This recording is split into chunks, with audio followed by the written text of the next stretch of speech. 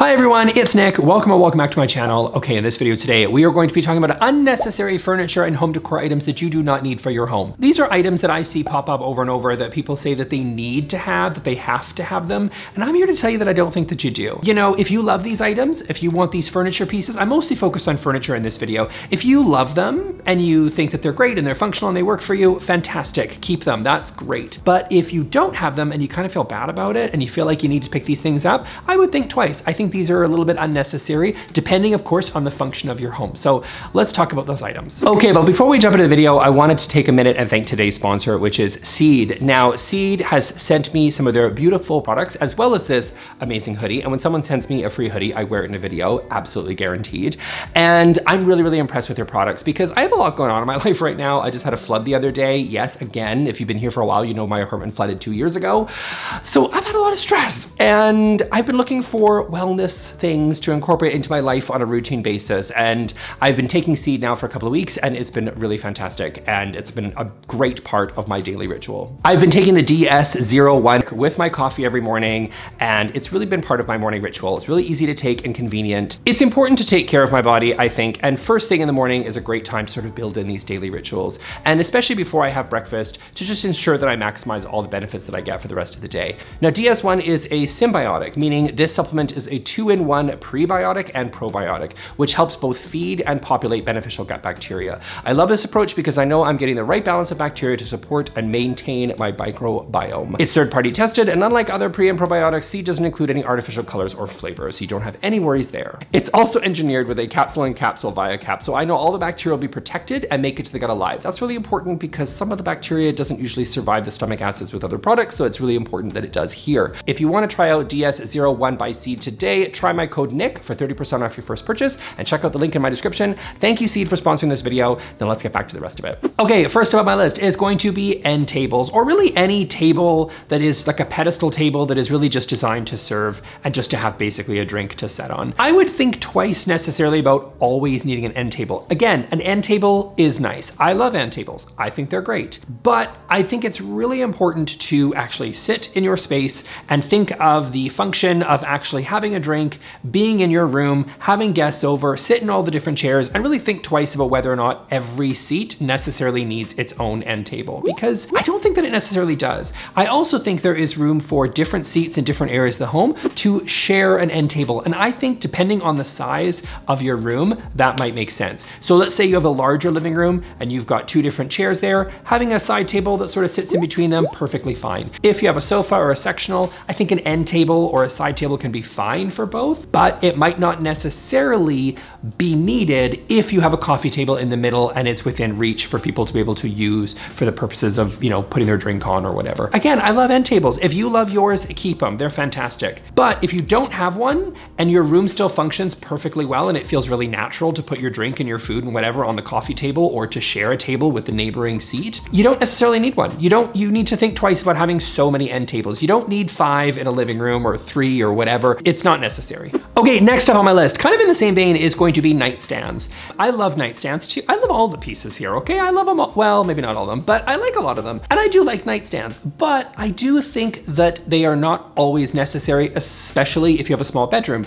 I have a, quite a small bedroom. I don't have room to put two large nightstands next to a queen size bed and actually make it work. I just really don't. I would have to get something really, really slim. And that's okay. You don't have to get two nightstands necessarily. They're great if you have the room for it, awesome, they're functional. You can put books in there, you can put your glasses on there, your phone, glass of water, whatever you need next to that bed, but you don't necessarily need them all the time. I think if you have a smaller bedroom, I think you should really think twice about bringing in some bulky nightstands because they do not fit the scale of the room. I think you'd be better off with maybe something like a nice, simple, basic shelf. Something like a Lack shelf that you can get at Ikea is so, so cheap. And honestly, kind of serves the basic function of what you're gonna need a nightstand for, right? Place to put the book, the glasses, the water, the cell phone, whatever. That's really all you need it for. So don't beat yourself up over necessarily needing these giant nightstands that you know you can buy from Restoration Hardware or whatever, and just make do with something a little bit more pared down, a little bit more simple that serves your basic functional needs that you're gonna need in the bedroom. That's all that's necessary. Okay, next up on my list is gonna be huge built-ins, built-in cabinetries. The giant media entertainment center of the 90s, reborn as these huge built-in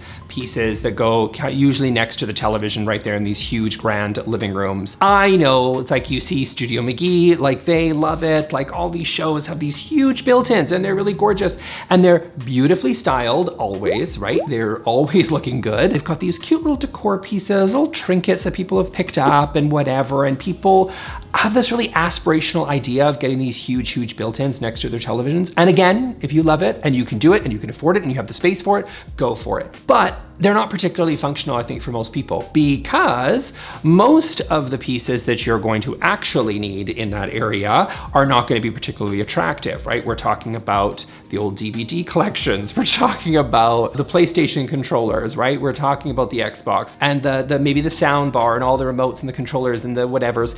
All those things are not particularly attractive. And so personally, I'm a little bit more in favor of a closed door media console or some sort of area where you can close off these shelving areas. Because these massive built-ins, which again can be stunning, tend to just kind of show off these beautiful pieces that look really great in magazines and really great architectural digest and on Instagram, but they don't necessarily make sense for most people. Most people don't have curated like, I don't know, decor pieces and little like uh, catch-alls that they picked up from a bazaar in Morocco or something. Most people don't have that.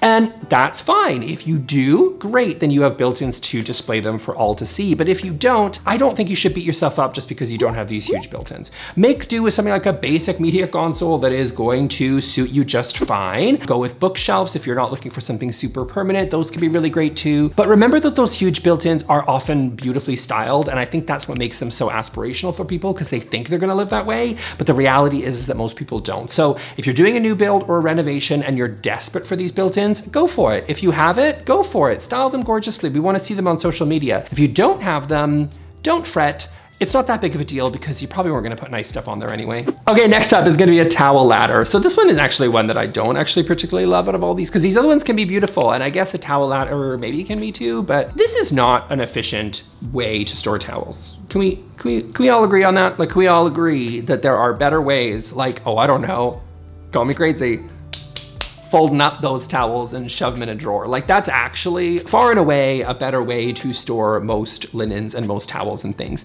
But these towel ladders look really great, don't they? Or at least some people think that they do. And so they like to kind of like delicately sort of hang their beautiful, gorgeous towels and just like lay them over top of these ladders that sit in these gorgeous bathrooms. And that's kind of the vision. You know, I don't know. I just think that these pieces are fine, but super unnecessary. This is not the best way to store a towel. If you love them, go for it. If you have one, keep styling it. But if you don't, don't worry about it. Just shove them in a drawer. That's what most people do and they're perfectly fine. No one needs a towel ladder. It's unnecessary. If you love it, keep it. If you don't, skip it. Okay, next up on my list is gonna be footstools or ottomans. We're going back to the living room here. Okay, footstools or ottomans. I sometimes think that people sort of, I don't know, I'm gonna say worst case scenario things, and they think of like, what happens if I host a party of 32 people? You know what I mean? Like, what do I do if I've got 32 people coming over? Panic, we need a bunch of footstools and ottomans just in case those people show up. Then you realize you don't even like 32 people. And so why do you need ottomans for all of them? They can sit on the floor because you don't even really like them, right? It's kind of like why when people are like, how many seats do I need in my car? And they're like, I need an SUV in case I, you know, I don't know, have 14 14 children and need to go to Costco. And so we tend to get these bigger cars. Sometimes we tend to overthink and catastrophize where our life is gonna go, or maybe we're optimistic and we think we're gonna have all these people over and turns out they don't really like us either. And so we think we're gonna need these big houses with all these big amounts of seating and whatever because we got all these people coming over and they're not coming, honey, they're not coming. So you don't need a bunch of footstools. You don't need a bunch of ottomans for the occasional seating that's never coming is I think really where I'm at with this one. So if you love these, great. If you like to put your feet up, I guess have one. That's what a footstool's for. I don't think you're putting your feet up as much as you might think you would, but I don't know you. Maybe you do. So so go for it. Get a, a footstool, I guess. It's better than some weird, ugly recliner and a marshmallow sofa. So I mean, that's cool. But all these ottomans that are just sort of there hanging out, like you see in Restoration Hardware, they've got like the two that's always like symmetrical right next to the fireplace. I don't think they're coming. I don't think they're necessary. They're purely just there for show. And I think you'd be better off with, honestly, the seating you already have. You've got a dining table, most likely. You've got four, six, maybe eight seats there, right? On the occasional opportunity where you're hosting some wedding shower or something for your niece, then, you know, whip those out, get those over from the dining, room. you know what I mean? Like no one cares. Like you can just use those for the once every three years you're gonna have all those people over. I say fine. I would say get the adequate amount of seating that you're going to need most of the time, realistically for your home. And then, you know, if you need to bring in some temporary seating during the holidays or whatever, then that thing's fine. But having like full-time ottomans and footstools all over the place just because you might think someone's showing up, I think that's unnecessary. And also, by the way, if you're really concerned about it, check out this coffee table that I just found from Crate and Barrel, which has this ingenious two little cute little ottomans that are just sort of sitting in the side there. How cute is that? So that looks like a really great idea. If you think that you might need those ottomans on a semi-regular basis. If you don't, skip them, use the dining chairs, use other seating. You've got other options. Don't worry about these. Skip these ones. Okay, and then next up is going to be a bar cart. And I know I say this as a person who has alcohol displayed in the background. I'm cool with that. But at least a bar cabinet, for the record, actually stores all your wine glasses and champagne flutes and things that you might actually use, depending on how much you drink, whatever. But you need those things, right? So it is storage and therefore filling a function. A bar cart can be great. I don't hate on a bar cart. They can be fine. If you love one, go for it. But it's not the necessarily like you have other options let's be honest about places that you could store your glassware and all your alcohol and things like you've got options there. You don't necessarily need to like wheel in your bar cart when your friends come over. I don't think that necessarily needs to be there for you. You've got other places to store other places that you can have that, that stuff. You don't really need a bar cart unless you really love the look of displaying your alcoholism in which case you have at it. Have fun. That sounds uh, good for you. Um, I promise no, no one's uh, no one's concerned is all I'm saying. You know, if you've got that bar cart and you love it, then you just